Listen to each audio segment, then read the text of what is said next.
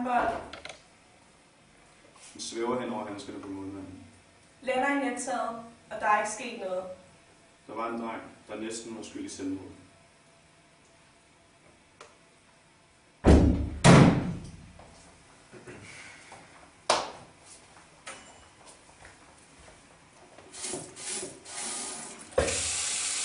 Kæft, hvor var det dårligt. Nej, drenge, vi jo bare en anden gang. Skal vi ikke gå og spille igen? Nå, jo. Jo, lad os gøre det. Kom, drenge, vi spiller.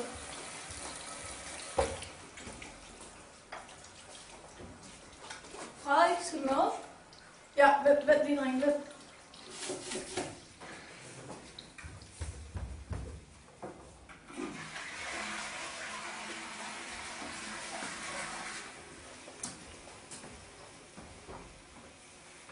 Vi venter til, vi ved noget. Hvis vi sådan ikke bekymrer sig om, belastes af det. Der er jo ikke noget, der er sikkert endnu. Han er jo ikke en dreng længere. Han er et barn indtil den 4. maj. Ligger det virkelig så sent i år? Hvad vil det så, hvis det sker inden eller under? Hvor skal det ligge? Og hvad med blomsterne? Blomsterne. Gaverne? Nå. Ja. Man kunne håbe, det skete inden. Det sagde du bare ikke.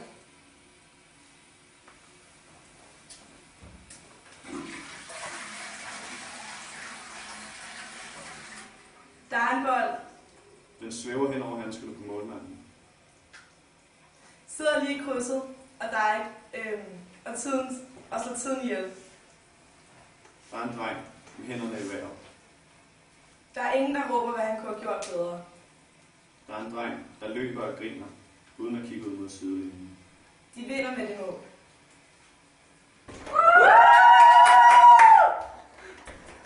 Kæft, hvor var det godt, det der. Og, og Martin, det der mål, det sad sgu lige i øjet. Ja, kæft, hvor var det smukt. Og forresten, jeg går lige om lidt, fordi far han henter mig. Skal du mig? Ja, ja, ja, men lige. Ja, vi ses. Ja, vi ses.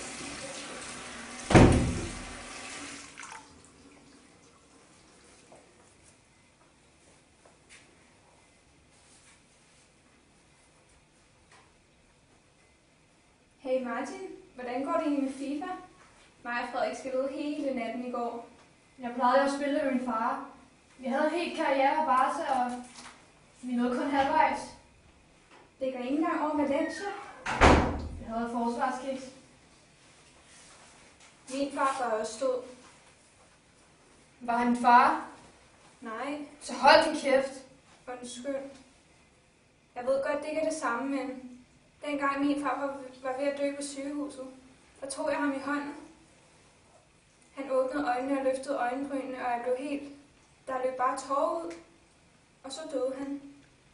Jeg vidste ikke, før det skete. Jeg gav ham et knus. Bare for at vise, hvor glad jeg var for ham, og for det han altså, hvordan han havde været, ikke? Han var jo død der. Ja, Min far, ikke? ja. Den der dag, hvor jeg skulle bolden over muren, ikke? Der troede jeg, skulle have ham for altid.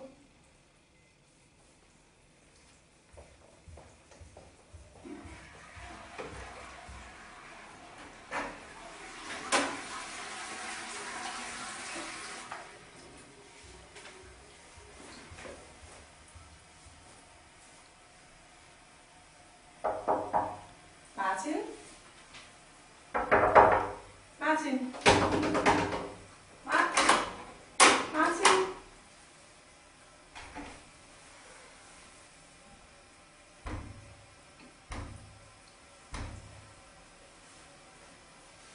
Hey, hey, hvad du?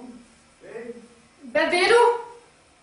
jeg lige sige hej og, og tjekke, det okay? Hvad tror du selv? Hey, hvad du? Stille og roligt. Du kan fandme ikke være det bekendt, du kan Jeg du skal have kraj ud på dig.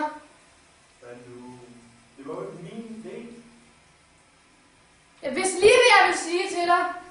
At jeg havde scoret et mål, og du ikke var et røvhul alligevel, fordi jeg ikke mente det. Hvad du? Du vidste, det skulle ske på et tidspunkt. Hold din kæft!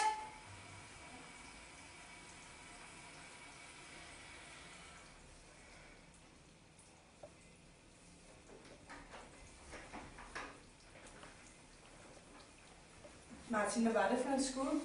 Hvad mener du? Det var bare et skud. Nej, Ma- Martin, Martin, du scorede jo. I vandt jo. Nå ja, det gjorde jeg. Ja. Kom. Lad mig hjælpe dig med det.